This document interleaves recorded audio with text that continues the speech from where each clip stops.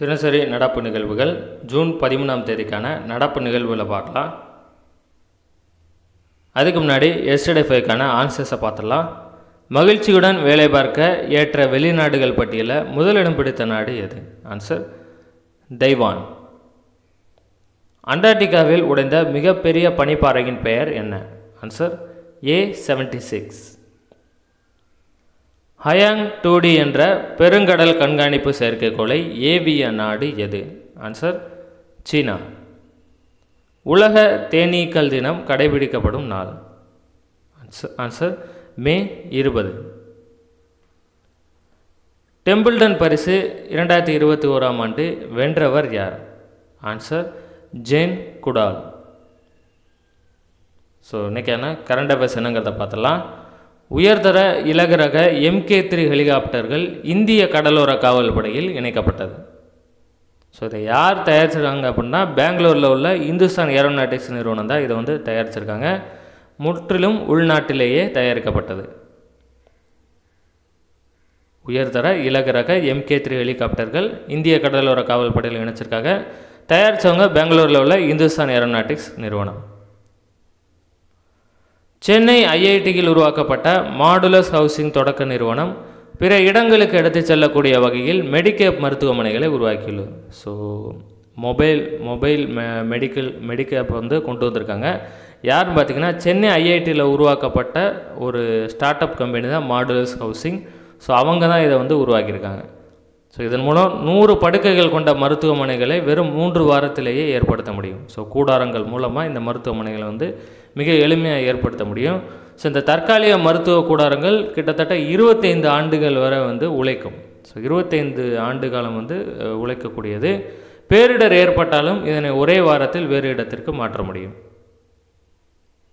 So எவ்வளோ பெரிய புயல் நில அதிர்வு எது ஏற்பட்டாலும் இதை வெறும் ஒரு வாரத்திலே இதை வந்து வேற ஒரு இடத்துக்கு ஈஸியாக கொண்டு போக முடியும். Electrocoagulation coagulation and enhanced membrane enhanced membrane module electrocoagulation and electro enhanced membrane model அப்படிங்கிற ஒரு முக்கியமான ஒரு தொழில்நுட்பத்தை வந்து இந்திய பேராசிரியர் ஒருத்தர் கண்டுபிடிச்சிருக்காரு.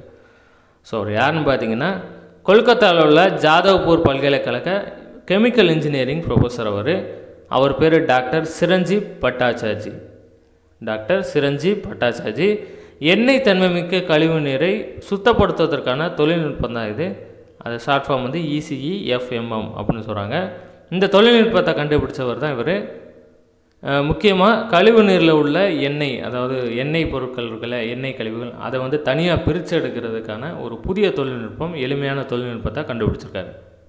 அவர் பேர் நோட் பண்ணிக்கோங்க. சிரஞ்சி பட்டாச்சார்ஜி. நியூசிலாந்துக்கு எதிரான டெஸ்ட் கிரிக்கெட் போட்டியில் இங்கிலாந்து வீரர் ஜேம்ஸ் ஆண்டர்சன் சாதனை.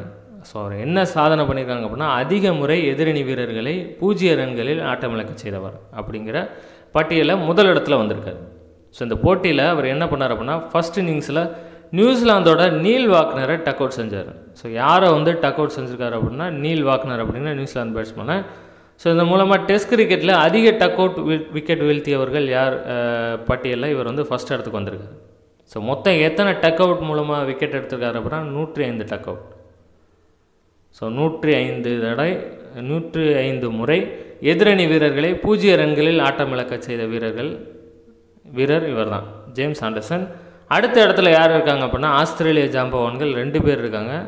கிளென் மெக்ராத் நூற்றி நாலு விக்கெட்டும் சேன் வான் வந்து நூற்றி இரண்டு முறையும் பூஜ்ஜிய ரன்களில் ஆட்டமிழக்க செய்துள்ளனர். ஸோ உங்களுக்கு அடுத்து மூன்றாவது இடத்துல இலங்கையை சேர்ந்த ஜாம்பவான் முத்தையா முரளிதரன் நூற்றி இரண்டு விக்கெட்டுகளை வீழ்த்தியுள்ளார். மொத்தம் இவங்க எல்லாருமே எதிரணி வீரர்களை பூஜ்ஜிய ரன்களில் ஆட்டமிழக்க செய்த வீரர்கள். ஜூனியர் ஆண்கள் உலகக்கோப்பை ஹாக்கி போட்டி கோவில்பட்டியைச் சேர்ந்த மாரீஸ்வரன் தேர்வு. ஸோ அஸ்ஸாமில் கவுகாத்தியில் இந்த வருட இறுதியில் வந்து உலகக்கோப்பை ஜூனியர் உலகக்கோப்பை ஹாக்கி போட்டி நடக்குது. ஸோ அதற்கான பயிற்சி முகாம் வந்து பெங்களூரில் நடக்குது. அதில் தமிழகத்தை சேர்ந்த ஒருத்தரை தேர்வு பண்ணியிருக்காங்க. அவர் பேர் தான் மாரீஸ்வரன். அவர் பேர் மாரீஸ்வரன். இவங்களுக்கு வந்து இதுக்கு முன்னாடி கனிமொழி எம்பி அவங்களும் மதிமுக பொதுச் செயலாளர் திரு வைகோ அவர்களும் வந்து ஏகப்பட்ட உதவிகள் பண்ணியிருந்தாங்க. ஸோ மத்திய அரசோட ஹீலோ திட்டத்தின் கீழ் நடைபெற்ற தேசிய அளவிலான ஹாக்கி போட்டியில் சிறப்பாக விளையாடியதால் இப்போ இந்த முகாமுக்கு வந்து அவரை செலக்ட் பண்ணியிருக்காங்க. ஸோ இதுக்கப்புறம் அவர் வந்து சீனியர் அணியோட பயிற்சி முகாமில் கலந்துருக்கான வாய்ப்புகள் பிரகாசமாக இருக்குது கேம்ஸ் திட்டம் அப்படிங்கிற ஒரு திட்டம் வந்து கொண்டு வந்திருக்காங்க. யார் அப்படின்னா விளையாட்டுத்துறை சார்பாக ஸோ இதை யார் வந்து இந்த திட்டத்தை வந்து தொடங்கி வச்சிருக்காங்க அப்படின்னா மத்திய இணையமைச்சர் கிரண் ரிஜிஜு கேம்ஸ் திட்டம். விளையாட்டு வீரர்களுக்கு ஏற்படும் காயத்திற்கு உயர்தர சிகிச்சை அளிப்பது மற்றும் அவர்களின் உடல் தகுதியை மேம்படுத்துதல் ஆகியவற்றில் கவனம் செலுத்துவதற்காக இந்த திட்டத்தை வந்து தொடங்கி வச்சுருக்காங்க.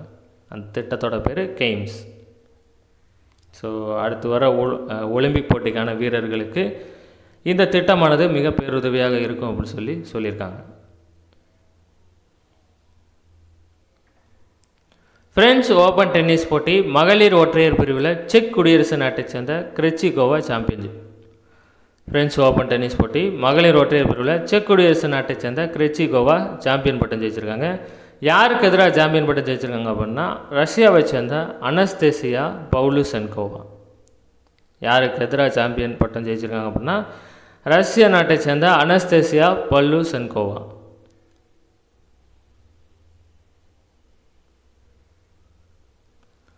கிரிக்குரு இந்த வெப்சைட் வந்து ஞாபகம் வச்சுக்கோங்க கிரிக்குரு. முன்னாள் இந்திய கிரிக்கெட் வீரர்களான வீரேந்திர சேவாக் மற்றும் சஞ்சய் பாங்கர் ஆகியோர் இணைந்து உருவாக்கிய ஒரு பயிற்சி தளம் ஆன்லைன் பயிற்சி தளம் தான் இது. ஸோ இதன் மூலமாக கிரிக்கெட் விளையாட்டை நீங்கள் நினைத்த இடத்திலிருந்து இதை கற்றுக்கொள்ள முடியும்.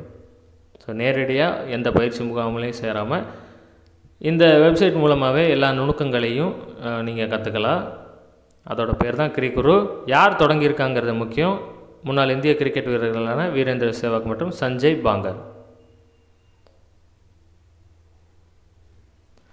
ஐநா பொதுச்சபை தலைவரின் முதன்மை செயலராக இந்தியாவைச் சேர்ந்த கே. நாகராஜ் நாயுடு குமார் நியமனம். ஐநா பொதுச்சபை தலைவரின் முதன்மை செயலராக கே. நாகராஜ் நாயுடு குமார் நியமனம். ஸோ இந்தியர் ஒருவர் நியமனம் பண்ணியிருக்காங்க. நோட் பண்ணிக்கோங்க. ரஷ்யா சுல்தான் அவங்க பேரை நோட் பண்ணிக்கோங்க. பீகார் காவல்துறையில் டிஎஸ்பியாக நியமிக்கப்பட்ட முதல் முஸ்லீம் பெண். ஸோ அவங்களோட வயது இருபத்தி ஏழு. பீகார் பப்ளிக் சர்வீஸ் கமிஷனில் பாஸ் பண்ணியிருக்காங்க. ஸோ அதன் மூலமாக டிஎஸ்பியாக செலக்ட் ஆகிருக்காங்க இவங்க எந்த மாவட்டத்தை சேர்ந்தவங்க அப்படின்னா கோபால்கஞ்ச் அப்படிங்கிற மாவட்டத்தை சேர்ந்தவங்க. கோபால்கஞ்ச் மாவட்டத்தில் ஹத்துவா அப்படிங்கிற இடத்துல உள்ளவங்க. ரஷ்யா சுல்தான் பீகார் காவல்துறையின் முதல் பெ முஸ்லீம் பெண் டிஎஸ்பி ஸோ அவங்களுக்கு வயது இருபத்தி ஏழு கோபால்கஞ்ச் மாவட்டத்தில் உள்ள ஹத்துவா அப்படிங்கிற இடத்தை சேர்ந்தவங்க. ஸோ இன்றைக்கான கரண்ட் அஃபேர்ஸ் உங்களுக்கு பிடிச்சதுன்னா மறக்காமல் இதுக்கான லைக் கொடுங்க. மற்ற ஃப்ரெண்ட்ஸுக்கும் வீடியோவை ஷேர் பண்ணுங்கள் நன்றி. அடுத்த வீடியோவில் சந்திக்கலாம்.